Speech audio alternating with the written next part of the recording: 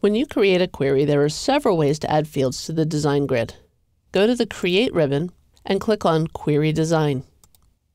Double-click on Sales Reps to add it to the grid, and then close the Show Table window. Hold your cursor over the bottom edge of the table until you get a double-headed arrow and pull down so that you can see more fields. I can add fields to my query in several different ways. The first is to double-click on the field, and it will appear in the next available column. I'll double-click on last name, and it appears below.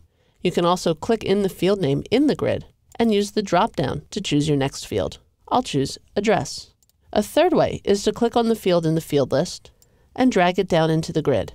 You can aim for the next available empty column, but this method also allows you to add columns you forgot. I can drag first name and drop it on top of address. Address will move to the right and make room for the new column. If you do need to reorder your columns, you can always click on the thin gray bar at the top of the column, let go of your mouse button, then click on it again and drag it where you need it to go. Look for the black line to know where you're dropping the field. I'll show you again.